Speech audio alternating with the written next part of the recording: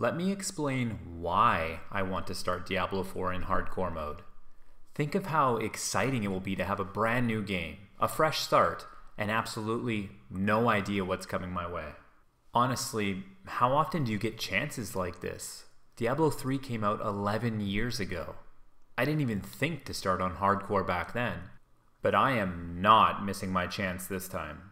You only really get that first playthrough type experience once. After you've seen all the bosses and surprises the game throws your way, the feeling changes entirely. So let's take a few minutes, let's think out loud, and discuss why I think starting in hardcore is the way to go on day one. Imagine having to actually fear the boss that you're about to fight. It isn't a simple, oh well, I died, let's respawn and kill him now that we know all the mechanics. You have to be locked in and ready to fight the first time. Your heart rate goes up a little bit, your hands get a little bit sweaty.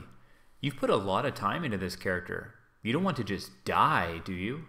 Were you a bit shook up when the Butcher just showed up during the beta? Imagine the entire game like that. That's the feeling that I'm shooting for here. That's why I want to play day one hardcore. People might say, well, what if you die early, man? You'll be way behind everyone else. And I counter that point by saying, so what? There isn't a ladder or season at launch, there's no ranking system, there's no rush to get through the game. Of course, we all want to see what is hiding in the late game, and it would suck to die early, but that's part of the challenge and excitement. I don't mind restarting and trying again, taking a different path, playing a different class. We all explore the game in different ways and at different speeds, and this is a first playthrough experience that can only happen once. Hardcore just doesn't feel as hardcore to me when I know exactly what's coming. Yes, you still need to execute the game plan and survive, but there's just way less risk involved when you know all the mechanics that are going to be laid out in front of you. Without a doubt, one of my favorite parts about hardcore mode is that every stat matters. On a normal character, everyone just pumps out as much damage as possible, everyone is a glass cannon, no one gives a shit about dying. But with hardcore mode, you suddenly start to value the defensive skills and stats that you would normally ignore. I love that it opens up all sorts of new builds and ideas. Legendary aspects that no one would touch in normal mode are fantastic in hardcore. Skills that no one would put on their bar suddenly find a place. You're searching for items with damage reduction and resists. Even things like the Paragon board nodes for life percentage, resists, and armor now hold a lot of value. I honestly feel like this is the way the game was intended to be played.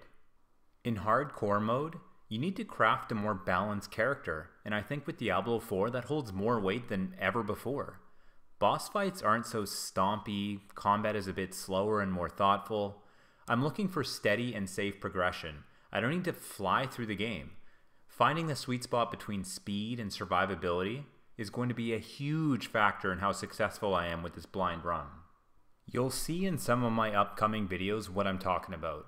I'll be using a lot of skills, aspects, and Paragon boards that no one else is going to be using it feels way more diverse and unique. Like it's literally my build.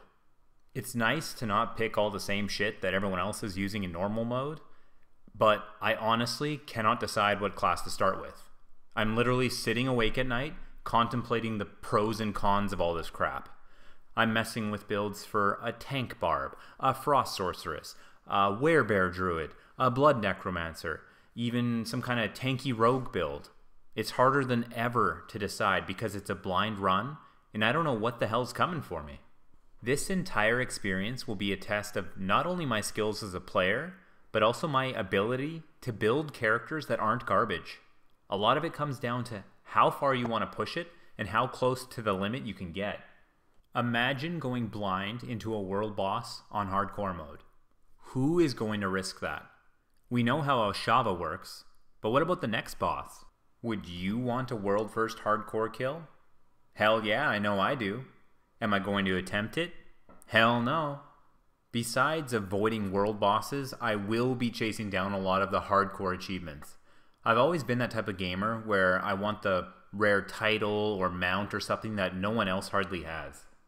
Now, one of my sort of cringe takes on hardcore mode is that you feel a deeper connection to your character. You're starting this journey with this character that you created, and it just feels a bit more organic and personal when they can be taken from you in the blink of an eye. You mess up, they're dead and gone. Back to square one. Most people would consider it wasted time to sink 50 hours into a character and lose it, but that threat is my reason to play. Another huge plus for me is that the hardcore community is much smaller than the normal one. It reminds me of my time playing Dark Age of Camelot 22 years ago. Everyone knew everyone on the server, and I honestly think that might be possible at launch in Diablo 4. There won't be many of us wandering around the world, so you'll take note of who you do see. The random world events create great opportunities to meet new players and potentially form groups or alliances.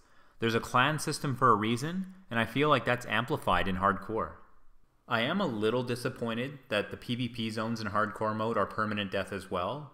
I mean, it's really cool on one hand that even PvP is this crazy, risky thing to do, but I feel like no one's to do it because of that, especially early on in the game, so it's a little bit off putting. Perhaps in the future they will make a certain zone or something that maybe won't follow those permanent death rules, but we'll see. Honestly, other than maybe avoiding PvP early on, I can't think of many reasons not to start in hardcore mode. I get it, everyone's playing the game differently, and I'm definitely not trying to shit on anyone who just wants to play normal mode and have fun their own way. I guess I just think this is a really unique and badass sort of thing to try out, and it goes without saying that I cannot wait to dig into the real game and start playing for keeps. I feel like they've really nailed the tone and feel of D4, and the late game mechanics and replayability sound very promising. It doesn't really matter how you play the game, I think we can all agree that it's going to be incredible. And look, if you can think of any reason I shouldn't start on hardcore mode, I would love to hear it. And just so you guys know, I'm going to try and release a few videos before the game launches where I discuss some random theoretical builds for hardcore characters. Thanks for watching this video. See you in the next one.